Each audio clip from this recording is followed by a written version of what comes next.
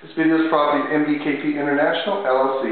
In this video we're going to show you our perfect G17 Pro Elite. It comes with a cabinet stand. And basically this cabinet stand, you got the cabinet here. It also comes with a, an extra blade. It has a blade already on it.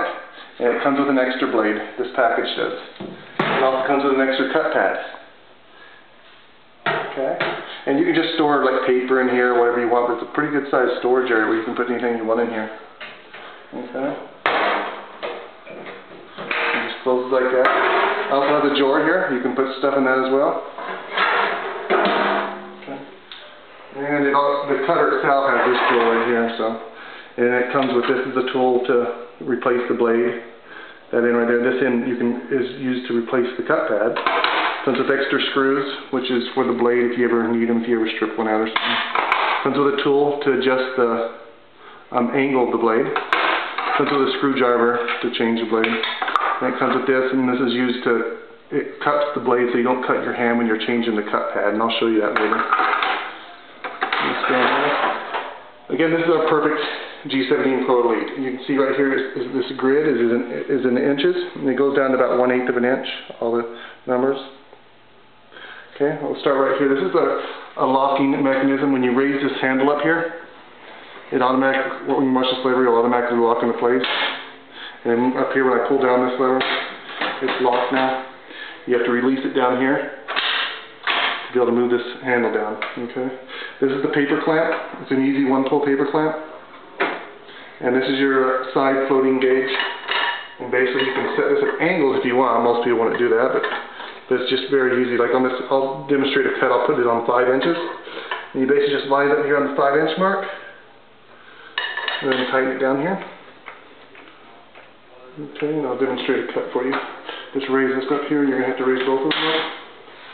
I got a couple things in here, a couple examples.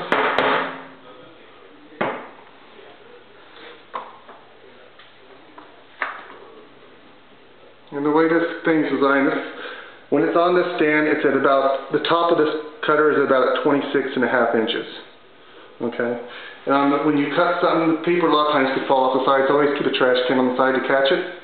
Or you can um, butt this up against like a table or something to where if you wanted it that, but mainly people just want it to fall off.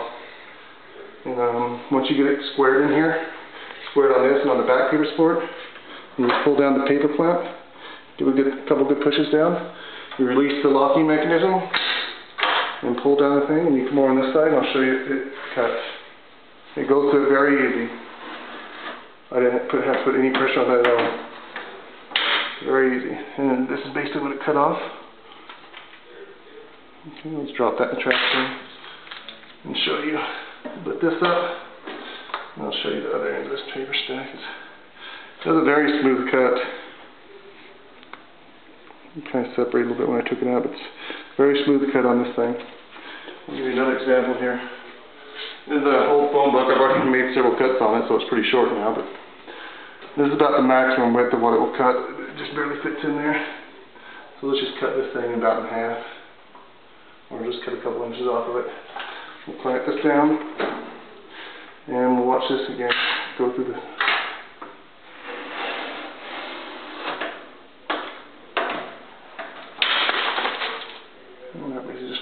trash can. You get a better idea of how smooth the cut is on something like this. Uh, how you can see it, but it's just very smooth cut. Perfect edge on it. Okay. I'm just going to show you a couple things. this. this is the safety shield it comes with.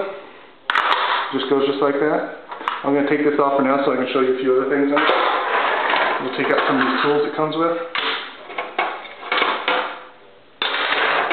thing I want to show you is this tool real quick. This is to change the angle of the blade. And basically it goes into here. And you loosen this bolt up here.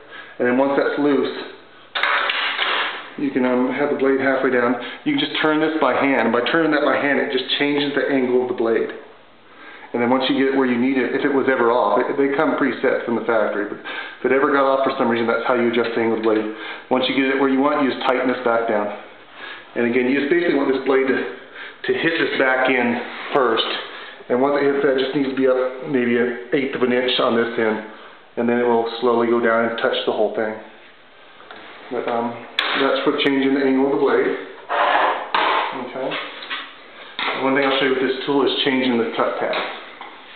Okay, with the blade all the way up, you use this, you can see it's got an arrow on it pointing up, and you basically need to put this under the edge of the blade.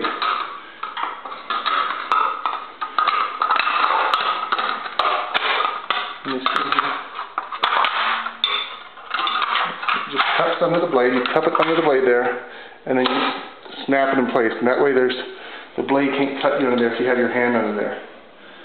You could even put that on there if you have this in storage or something, but, and then from there, you can, um, use this tool, and you basically push into this hole and it'll pop that cut pad up.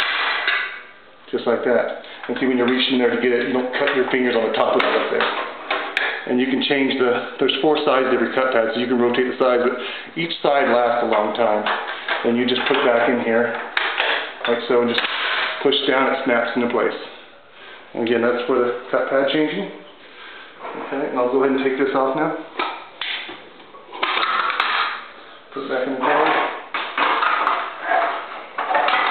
And let me show you, come around this side over here, and I'll show you the changing of the blade. With this tool here, you basically want to start, and there's two spots here to attach this tool to. First thing you want to do is take off a couple screws. Like you'd remove this screw, and then you remove that screw. And then you use those screws to attach this tool right there. And there, the center um, screw is left there. Once you get this tool attached, then you just start removing the rest of the screws. And the last screw is here. You've got to have this blade down to get to it. You right there, and you get to the last screw right there. And actually be the second to last, but that's one of the screws you'd have to get to and get out. Then once you get all those, you move it up. This will be the last screw left in the center. With this thing attached, you would then take out this screw, and this blade would just come right out on, onto this tool. And then you would just remove, take this somewhere on your workbench, remove the blade from the tool, put another new blade on this tool, and bring it right back in. Put it here, attach this screw first, and then attach, attach the others. You'd probably want to not snug down any of the screws. Get all the screws started first, most of the way in, and then once you get all the screws in, then snug them down. Very simple. It only takes two or three minutes to change the blade. That's one of the good things about these paper cutters. But again, this is a um, perfect G17 Pro Elite. That comes with this stand, this cabinet stand, extra blade, extra cutting pad, extra tools for changing the blade and cut pad and adjusting the angle of the blade. This video is property of MBKP International, LLC.